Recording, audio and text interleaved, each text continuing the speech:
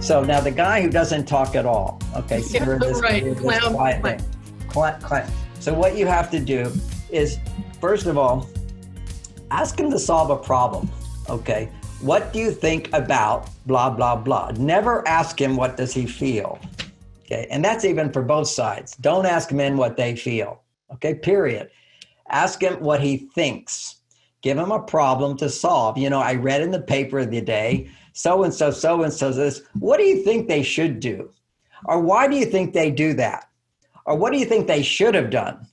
Put men in the problem solving mode and they'll talk. And maybe, you know, you don't really need that help in your life, but you're trying, what you're trying to do is get a conversation going here. And did you see that movie? You know, what did you think about it when so and so said this and this and this? You know, sometimes my wife and I just generate conversation because we're married 34 years. And, you know, mm-hmm. you've kind of had all your conversations. right. now, two things would happen. First of all, it was one, one is when we'd have guests over, and then Bonnie would say, John, tell them about that. Tell them about that. So I could tell all my stories again. And she wasn't bored by it. But after you've told all your life story to your partner, you've had so much, what's there to talk about? So what Bonnie would do is we'd watch shows, we'd put it on pause, and she'd say, What do you think they should have done in that situation? What do you think she could have done in that situation? Well, how could they have resolved that? You see, put men in the problem solving mode. And we did even another thing, which is I talk about how men, if you really understand men, you realize they, some men are exceptions, but they almost always make sense. Okay, that's their, their whole masculinity is about being logical and making sense with situations.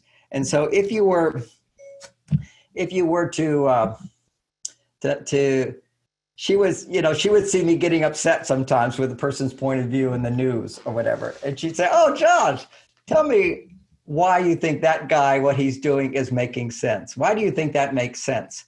Because I, you have to come back to, well, it makes sense because if I believed X, Y, Z, then it would make sense to do, uh, if I believed ABC, then it would make sense to do X, Y, Z. You see, everything is logical if somebody's not being emotional. If somebody's being emotional, let's keep that in tr- and and look at that side of it.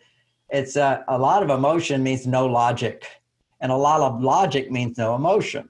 And men are best when men are angry, upset, irritable, passive, grumpy, resistant, all the worst qualities of men. It's because they're not being logical. They're too emotional at those times. And we can measure that because their estrogen levels, estrogen goes up with emotions.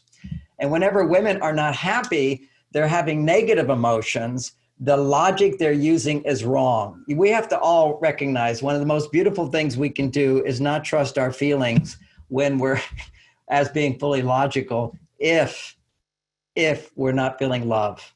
And when you're feeling love, you don't feel angry, you don't feel sad, you don't feel hurt, you don't feel any of those things. Now, you can love someone, yes, and feel sad. Like when Bonnie died, oh my God, I've never, two years of massive grief and sadness and disappointment. Yesterday was actually the anniversary of her death, and mm-hmm. it was a hard day for me and uh, very, very painful. But when you're feeling pain, it's not that I don't love her, but in that moment, I wasn't feeling love. You see, it's kind of like remembering love. It's I love you so much, but you're not here. It's there's a pain associated with, as opposed to coming back to gratitude, love that she's in my life. That you know, I have a beautiful life now, and I know she's in my belief system. She's moved on to another world. She's happier there, and she's looking over our family. You know, so see, that's love. See, love is peaceful. Love is open. Love is accepting. And when we love someone and we lose them, then you know we we we we we're feeling all these negative emotions. There's love there too, or you wouldn't have those negative emotions. But you're not fully feeling the love. So let's come back to fully feeling the love and not buying into these negative emotions. And of course, the negative emotion that really, if I analyze the pain I feel, is that I failed her in some way. If I'd been a better husband, she wouldn't have died. You know, no, I had nothing to do with her death. It was cancer. But you know, there's that place where you, if only I'd been better. You know, another one is a fear. You know, I'll never find love again. That's what the brain goes into. Another fear is I'll always feel pain. These are all lies.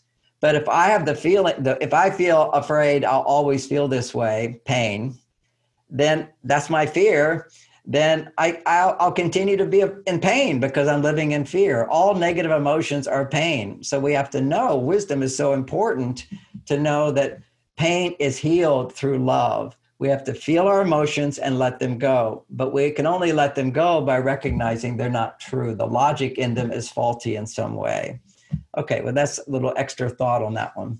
So, coming back to the basic question you asked, which is he doesn't talk you need to ask him questions, get him in touch with solving problems, activate that logical mind inside of him. And then he will share more. Then he'll really get into it. Then you want to stop him so you can talk more. And he gets to know you. Okay?